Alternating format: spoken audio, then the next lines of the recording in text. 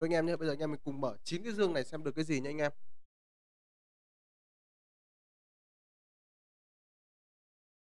Một dương đầu tiên.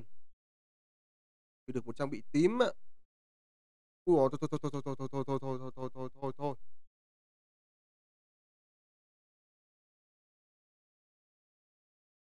Ủa?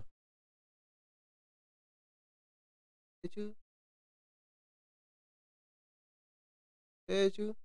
À, mở 9 dương thì được một dương trang bị 5 dương trang bị tím, một huyền tinh 5, một huyền tinh 6, một huyền tinh 456 luôn anh em. 456 với một tử thủy tinh. Được không anh em? 456 với một tử thủy tinh. Bây giờ em khui luôn à, uh, 5 cái dương tím này xem được cái gì nha anh em.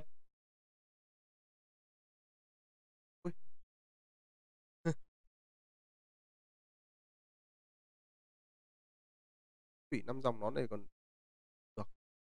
đây? Ui ngon. Có tay hỏa luôn. đây là em tính hôm nay là đi 9 dương thì được được 4 viên huyền tinh, à 3 viên huyền tinh. 456 anh em ạ. 56 với một tử thủy tinh. 5 dương tím thì mở được một mũ thủy 5 dòng cũng như là một bao tay hỏa 5 dòng. Khá là ok. Tính ra hôm nay đi trận chiến đấu cũng khá là ngon anh em ơi.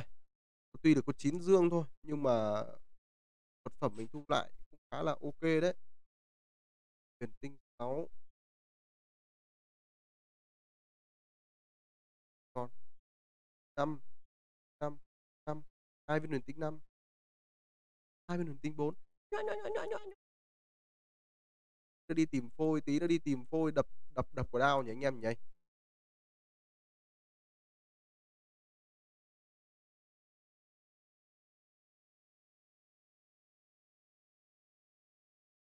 Ý thở ngon rồi giờ em sẽ hai dương nhân phẩm.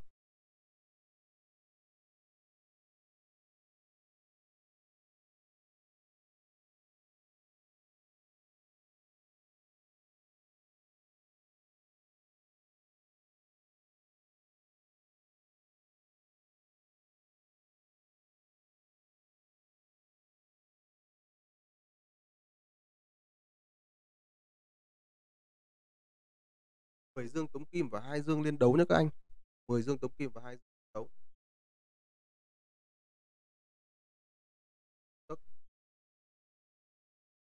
Tống kim. Tống kim, một nghìn vạn tống kim. Ui ui.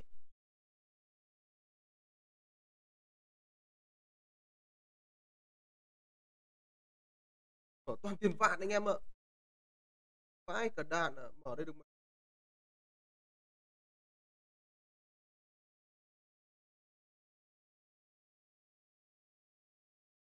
5 phát tiền vạn. 3 viên tinh hồng.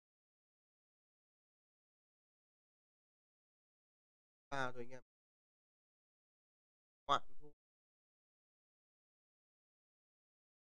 Vâng.